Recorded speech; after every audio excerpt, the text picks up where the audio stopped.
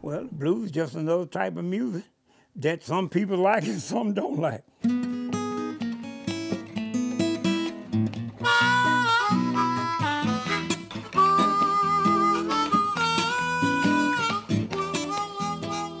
To me, blues is a way of life. You know, you I, I live the blues. And I didn't know what the blues was, but I just knew I liked it. You broke, that's the blues. You're hungry, that's the blues. And ah, just like you just said, you got a good woman secret, that ain't nothing but blues. I can have a happy blues, sad blues, mad blues. There's lots of ways I had a blues. You know, we love it, and we continue to do it. This is what I want to do for the rest of my life. If you really love blues, you're really into it. You're into raw stuff.